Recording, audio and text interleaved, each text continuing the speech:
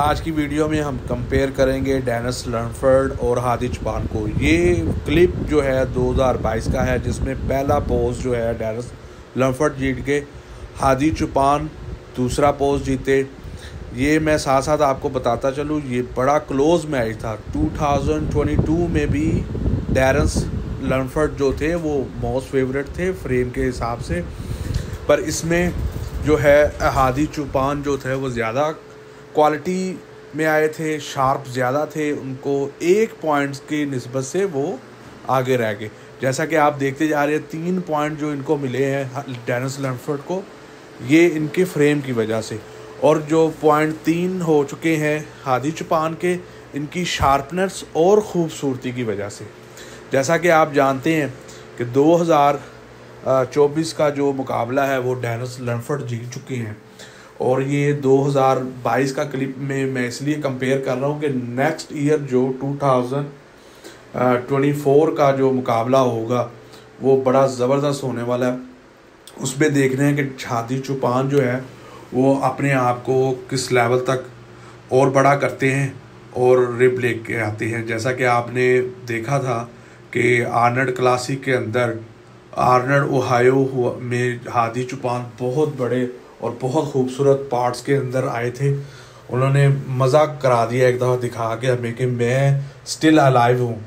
अगर मेरा फ्रेम और हाइट छोटी है तो पर मैं किसी से कम नहीं हूँ। इस, इसके साथ साथ मैं कुछ चीज़ें और भी बताता जाऊँ आपको कि जो आपका फ्रंट फ्रंट फ्रेम है जो जब भी बॉडी बिल्डर जो फ्रंट से खड़े होते हैं डबल बाइसअप या स्टैंडिंग पोज देते हैं उसके अंदर विंग्स नहीं उसमें ओवरऑल आपका जो है आपका फ्रेम कितना बड़ा है, आपकी फोर आर्म्स और ट्राइसअप की वेथ शोल्डर का राउंडनेस और ट्रैप्स आपके देखे जाते हैं और उसके बाद नीचे जैसे कि लक्स की गुलाई, ठीक है? ये बहुत लोगों को जो है वो गलत फहमी रहती है कि फ्रंट डबल बाइसअप के अंदर जो है वो विंग्स देखे जाते हैं, जो फ्रंट लेट स्प्रेड है, उसके अंदर भी विंग्स देखे जाते हैं, इस तरह नहीं है। ओलंपिक्स ओलंपिया के अंदर इसका बिल्कुल ऑपोजिट है। इसके अंदर आपकी सबसे आपके फ्रेम आपके बाजू, आपके शोल्डर की राउंडनेस और लेग्स की राउंडनेस देखी जाती है। कौन कितना बड़ा और वाइड है। फिर उसके बाद जो है उसकी खूबसूरती। अभी जैसा देखे जा, देखा लास्ट ईयर जो मुकाबला हुआ आपने, उसके अंदर जो है उन्होंने हादी चुपान को सेकंड पे रखा और डेरस लम्फर्ड को पहले पे। उसकी रीज़न थी कि उन्होंने फ्रेम को ऊपर रखा। डैंस लम्फर्ड के अंदर अभी भी बहुत ज़्यादा स्पेस है वो अपने आप को और मज़ीद बड़ा कर सकते हैं। और हादी चुपान जो है वो उनको उनके फ्रेम को देख के नहीं लगता कि वो अपने आप को और बड़ा या वाइड कर सकते हैं। पर इस देखना ये है कि इस दफ़ा का जो है ओलंपिया वो आ, कैसा आएगा। जैसे कि आप डबल बाइसअप इसमें देख रहे हैं डैरन्स की, इसके अंदर फोर फोरम्स देखें ट्राइसअप की रोनस देखें और शोल्डर देखें। और इसी तरह ही हादी चुपान के अंदर ट्राइसअप मिसिंग है फोरम्स जो है वो पतली हैं।